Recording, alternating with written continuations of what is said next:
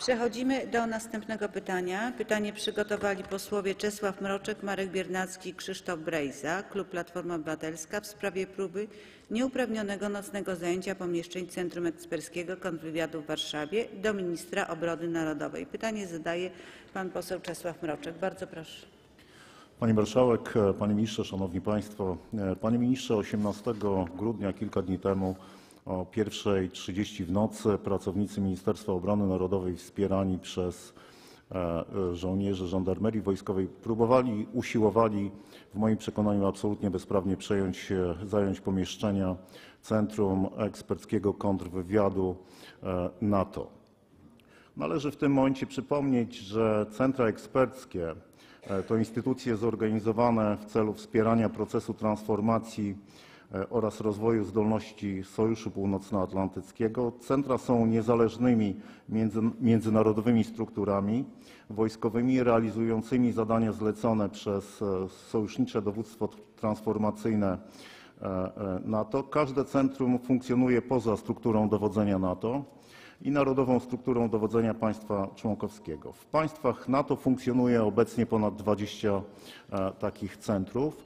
To centrum kontrwywiadu tworzone na terenie naszego kraju, na terenie Polski i Słowacji, wspólnie przez Polskie z inicjatywy Polski i Słowacji jest jedynym e, natowskim centrum e, na świecie. Jak powiadam, z inicjatywy Polski i Słowacji rozpoczął się proces e, tworzenia tego centrum w naszym kraju.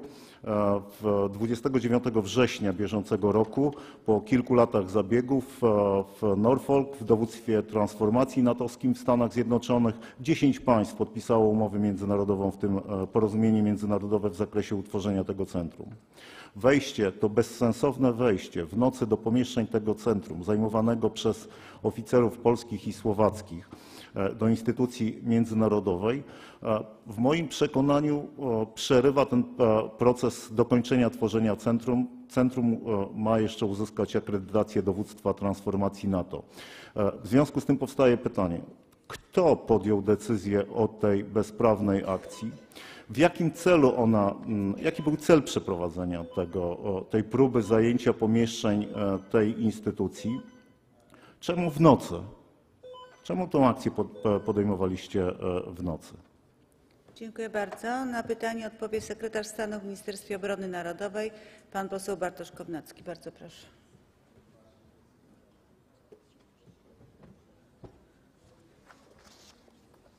Pani Marszałek, Wysoka Izbo, Panie Pośle, Państwo za wejście w wersji pisemnej również za, zarzut, że to wejście rujnuje wiarygodność i ośmiesza nasze państwo. Na arenie międzynarodowej rozumiem, że ten zarzut również jest podtrzymywany, a ja Panu posłowi powiem, że rujnuje wiarygodność państwa polskiego sytuacja, w której opozycja w celu uzyskania party, partykularnych korzyści politycznych szarga dobrym imieniem Rzeczpospolitej.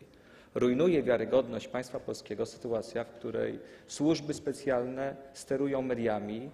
Jeszcze bardziej rujnuje wiarygodność państwa polskiego sytuacja, w której to służby specjalne piszą interpelacje przedstawicielom opozycji. Ja, ja nie wiem, panie pośle, kto pytał, pisał dla pana pytanie w sprawach bieżących. Wiem natomiast, że w ramach materiałów zabezpieczonych w rzekomym Centrum Eksperckim NATO zabezpieczono projekty interpelacji, które miały być składane przez opozycję. Panie pośle, wydaje mi się, że nie można mówić o nieuprawnionym wejściu do Centrum Eksperckiego NATO, bo to Centrum Eksperckie jeszcze nie istniało i to potwierdzili w przesyłanej dokumentacji funkcjonariusze oddelegowani do tego Centrum Eksperckiego.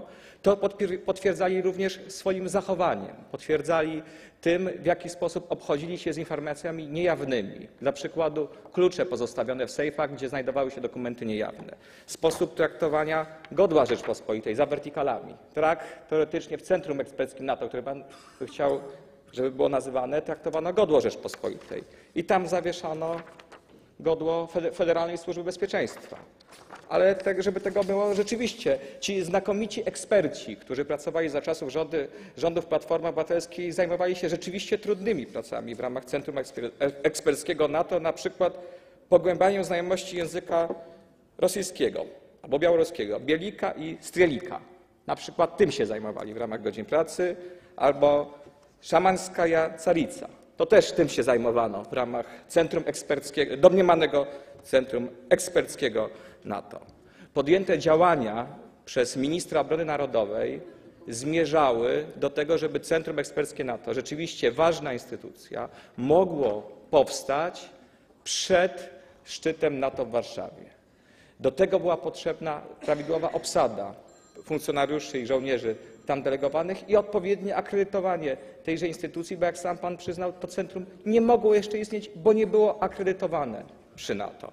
Otóż nie mogło być akredytowane w ostatnim czasie, dlatego że funkcjonariusze służby kontrwywiadu wojskowego i żołnierze nie mieli odpowiednich dostępów do informacji niejawnych ze względu na podejrzenie, iż w sposób nieprawidłowy obnoszono się z informacjami niejawnymi, wszczęto względem ich postępowanie w tym zakresie.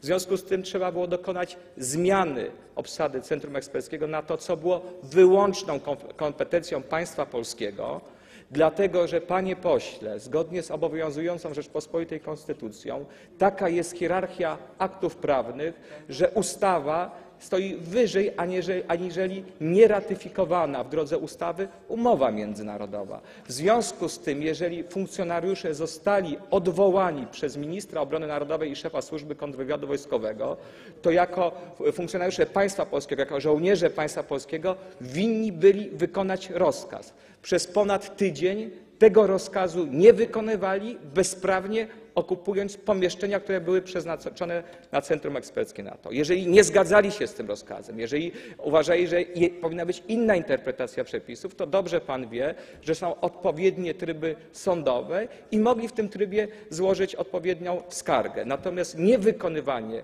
rozkazów ministra obrony narodowej i szefa służby kontrwywiadu wojskowego to jest łamanie, a chyba pan by tego nie chciał, łamanie poleceń legalnych organów Rzeczypospolitej. W związku z tym względem tych osób wszczęto stosowne postępowania w trybie artykułu 230, na podstawie artykułu 231, 265 w kierunku.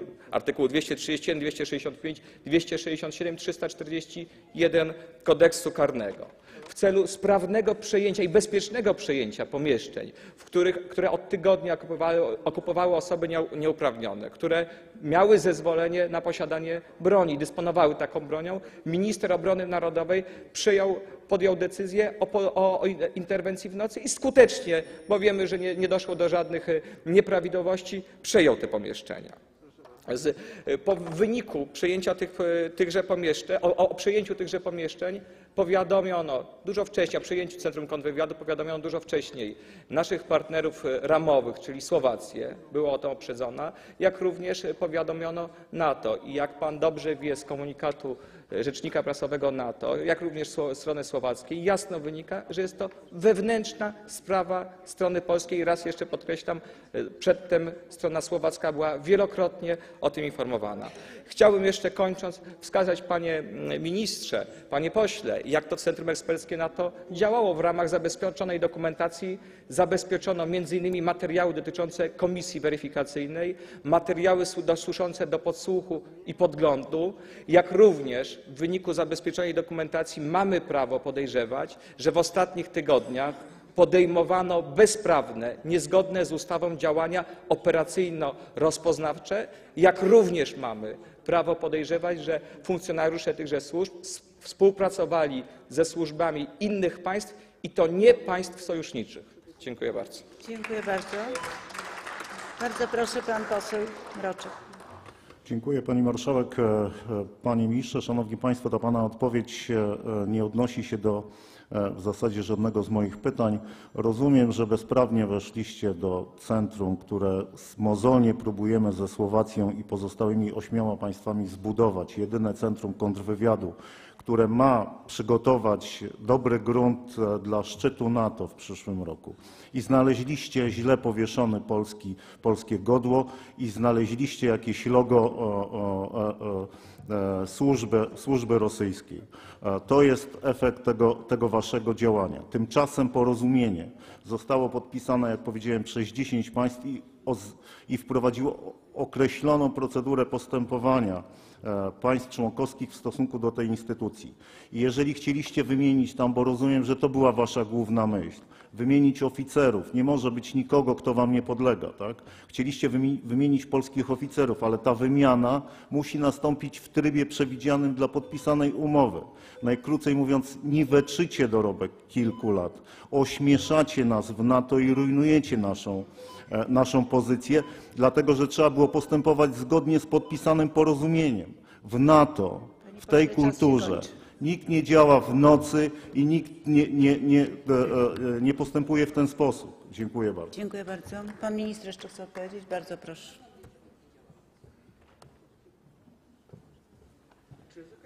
Panie ministrze, w kulturze polski oficer niepodległej Rzeczpospolitej wykonuje rozkazy przełożonych, a państwo nawołujecie do buntu. A jako, jako do posła Rzeczpospolitej jeszcze raz panu chciałem wskazać, że hierarchia aktów prawnych w Polsce stanowi, iż nie można w nieratyfikowanej umowie międzynarodowej podpisanej między ministrami przekazać kompetencji ministra, kompetencji państwa. To minister obrony narodowej na podstawie odpowiednich ustaw, działając w ramach i w gr- w granicach obowiązującego prawa, ma prawo powołać i odwołać przedstawicieli tego centrum i to potwierdziły, to potwierdzili również przedstawiciele strony słowackiej, stwierdzając, że to jest wyłączna kompetencja strony polskiej. Dziękuję. Dziękuję bardzo.